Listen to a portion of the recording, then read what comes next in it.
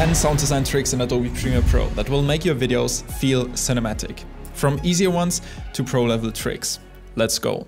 I'm currently in a workspace audio and the first trick I want to show you is about the ambience sound effects. How you can make it more special because as you know, on every scene what you basically do is just adding some ambient sounds. So if you're in the city, this could be the sound of the city and some wind. If you're at the ocean, you can hear the waves and stuff like that. Now what I like to do is to also add some texture besides the ambient sound, which will add way more depth to your scene.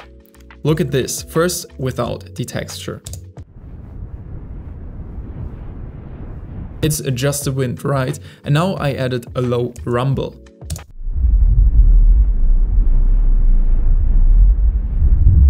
This deep bass behind your clip will also make it feel more cinematic.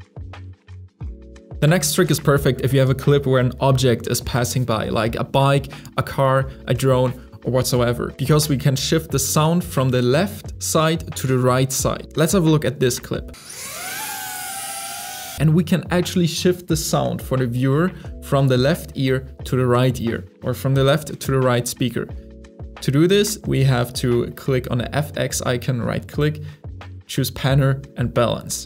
Here we can now press P for example to set keyframes and if we drag it up it will move the audio to the left side and if we drag it down it will move the audio to the right side. Now listen to that again. A little trick for it is to never put it fully to one side. So don't go to minus 100 or to plus 100 because it will sound strange if it's fully on one side. Always have it maximum at 90 to still maintain a bit of the volume on the other side. For the next trick, let's have a look at this clip. The clip itself looks pretty epic, but the sound it's pretty high, which doesn't match the vibe.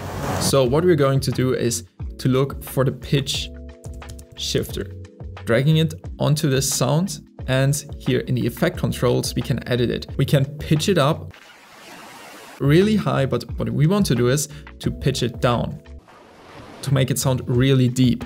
So we can either pitch it down like by full values or by cents. So this is just a very detailed, precise adjustment, while this is a very impactful adjustment. Now let's put it to around minus 10. Before way better. And this is how you can adjust any sound effect, whooshes, risers, and whatever you use. Now we can combine the both effects we just learned to make a really impactful sound adjustment. So let's have a look at this clip. It's the car passing by. So what I'm going to do first again is going to the panner and the balance. To shift the sound slightly from the right side to the left side, go down and then Now let's go back to FX, volume and level. Now, what is pretty new in Premiere Pro and is super helpful is that if you adjust the volume right here, the waveform is being adjusted live. So you can actually see if a sound is too loud like this or if it's like fully muted. With the pitch shifter, we can take this to the next level. So I drag and drop the pitch shifter on here and now I want to show you how we can use the pitch shifter inside of the inline effects right here. You can see it's shifting the sound. And our goal is from the baseline to shift the sound down to the end, which will make it sound more mysterious, which matches the video because the car is leaving the video. We don't know where the car is, so we want to, to give it a mysterious look. Let's talk about Foleys. For example, in this video, I'm going around. So we need the stepping sound. And what I did earlier to make this sound good was I would always disable the sound of the video and then add my own steps.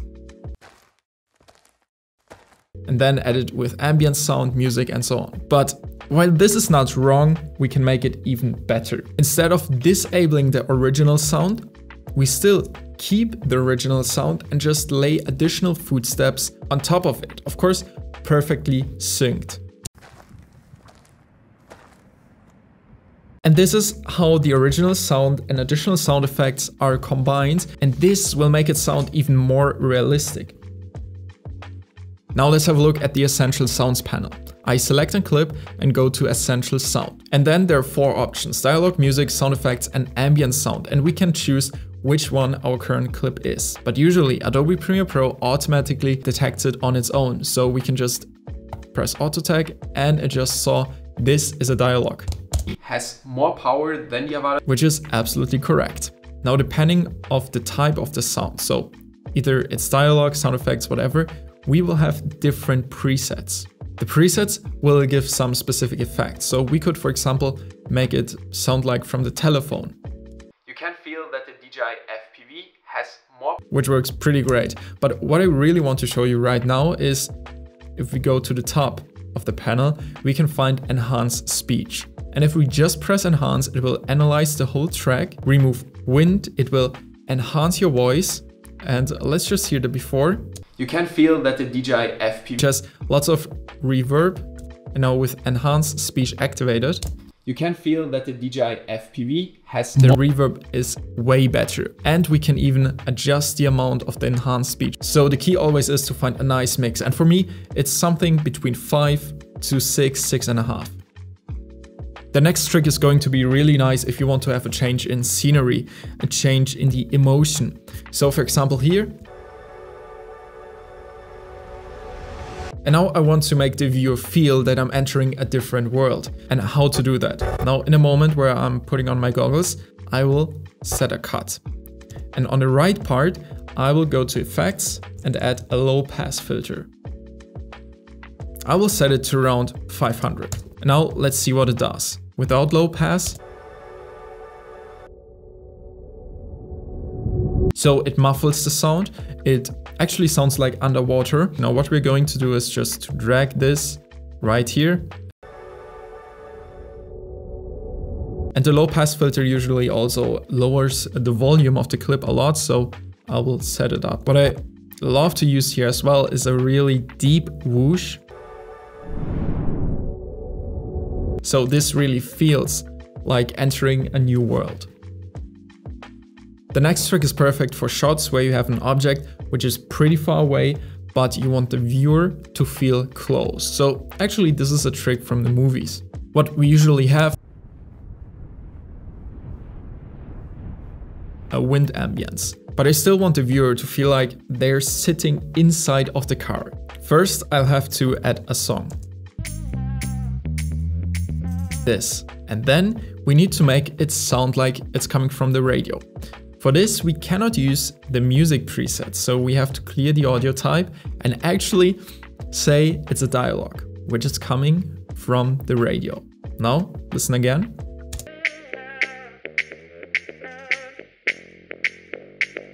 It sounds like it's coming from the radio. And now if we add a sound from the car, which we usually can't hear because the car is pretty far away, it will feel even closer.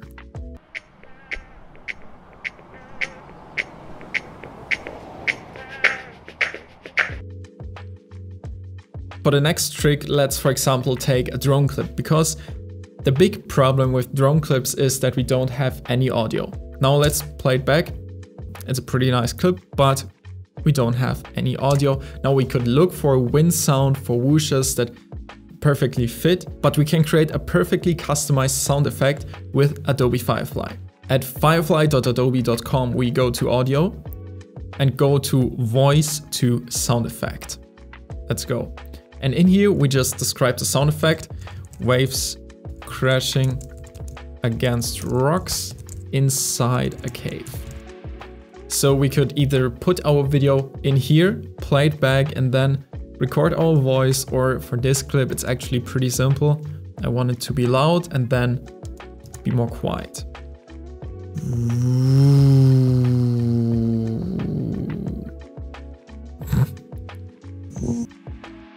Let's, let's just generate it and see what it sounds like. We'll also get some different options to choose from. Oh, I like this one the most and right here I can just download it and drag it into Premiere Pro.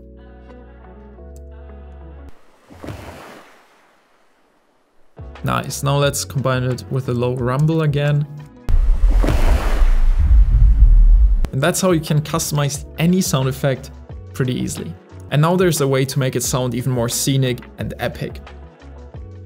By pressing Command R and changing the speed to maybe around 50. So we're going to slow it down and we are not going to maintain the audio pitch. So it will play back slower, but also pitch it down even more. And then if we slow down our clip as well and play it back, or even let's put the sound to 25% speed. Play it back.